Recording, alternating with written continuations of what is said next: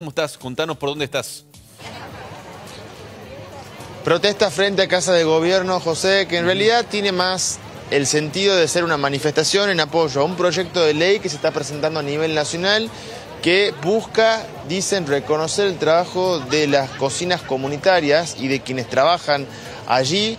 Hay eh, bueno, distintas agrupaciones de izquierda, en este caso la Garganta Poderosa, que está siendo acompañado por distintas agrupaciones sindicales. El tránsito está cortado en Mendoza y 25 de mayo, no así por San Martín, pero vemos que está muy colapsado. Vamos a mostrarles después eso, antes vamos a hablar con quienes están acá, entonces tratando de apoyar una ley que se presenta hoy en el Congreso de la Nación. ¿Es así? Buenos días.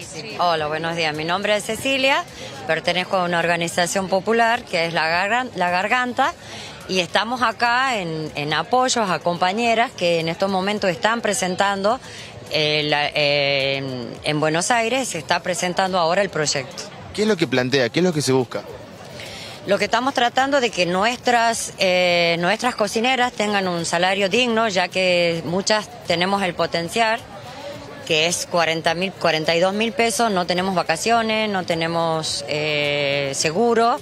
Eh, entonces estamos tratando que nuestras cocineras comunitarias tengan un salario digno, vital y móvil a donde también ellas puedan tener su obra social, sus vacaciones, como cualquier otro empleado eh, que estaría en, condiciones. ¿Qué hace hoy una cocinera comunitaria?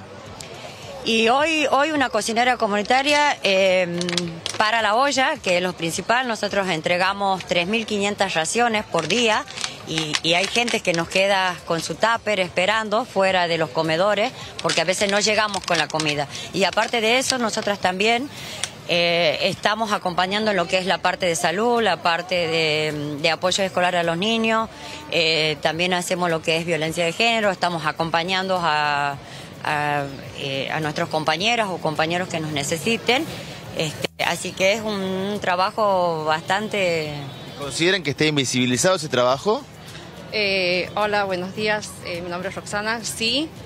Eh, no somos reconocidas como trabajadoras de, la cocina de la olla popular. Eh, en estos momentos nuestras compañeras y nuestra referente nacional, la negra, eh, la negra Albornoz, ella nos está representando en el, en el, Congreso y de hecho en estos momentos se está haciendo un debate junto a las demás compañeras de, toda la, de todas las provincias y las organizaciones nos están acompañando para esta lucha de que sea una ley y sea reconocido eh, el trabajo comunitario que tenemos todas nosotras. ¿Cuántas son en Tucumán más o menos? Y, eh, 3.500 no, 350 cocineras, cocineras en Tucumán. en Tucumán, pero ahí también este, somos muchas más porque está la, aquella persona de, que lo que hace lo que es parte de salud, parte de educación, entonces somos muchas más. Muchas gracias, ¿eh? Muchas gracias. ¿Hasta qué hora van a estar?